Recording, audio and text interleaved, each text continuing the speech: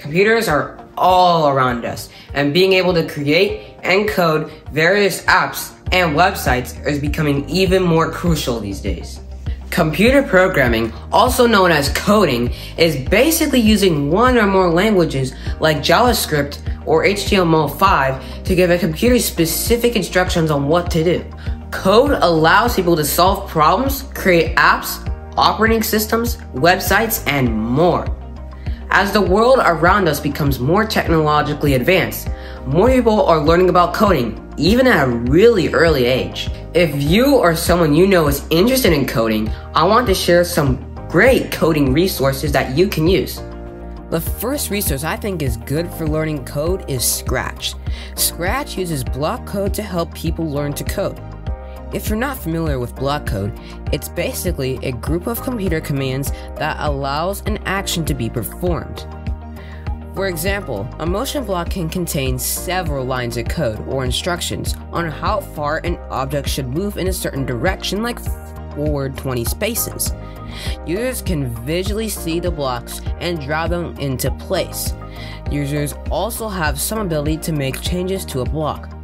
Block code allows people to learn coding fundamentals without having to type any lines of code right away. Again, Scratch allows users to learn block code to help build programs. You can also view other people's code to see how someone may have made a specific project and what blocks of instruction they used. You can also use others' code and remix it, or essentially change some of the specifications. Note that if you republish any type of this work, you have to give the author credit. Scratch is geared for kids and teens from 8 to 16, but anyone can sign up. Scratch is available through the web and as an Android app. Note that if you use an Android app, Scratch will look slightly different than what I showed you in the website version. Another really good coding resource is called code.org. Code.org is like Scratch in that you can use block code to build your program. Code.org has different levels for beginners and more advanced coders too. It has guided step by step lessons that teach you how to code. Also, there are some cool challenges that involve games like Minecraft or creating a dance party. Code.org is only available through the web. Tynker is another good resource to learn code. This program isn't free, but is a really good resource to consider. Just like Code.org and Scratch, it uses block code to help you learn. For more advanced users, it has an interactive tutorial for text based coding in many coding languages like HTML5 and CSS. Text based coding means you have to type the lines of code and use the proper syntax or structure. Tynker can be used for both younger and older kids. Individual plans for Tynker start at $7.50 per month.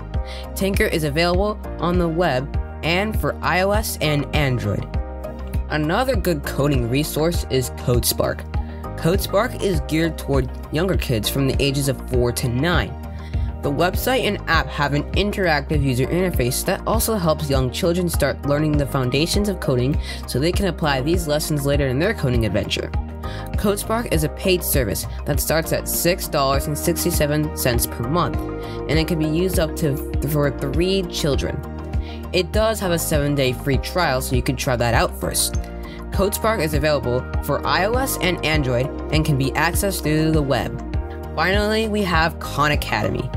Believe it or not, Khan Academy has content available that you can use to learn more about coding. The coding content on Khan Academy is geared for people that have some general experience in coding. There are tutorials where you can learn to code using JavaScript, HTML5, CSS, and even more advanced languages. The Khan Academy tutorials use text based coding. Khan Academy is available on iOS and Android and can be accessed through their website. So now you know about 5 coding resources that can help you learn to code.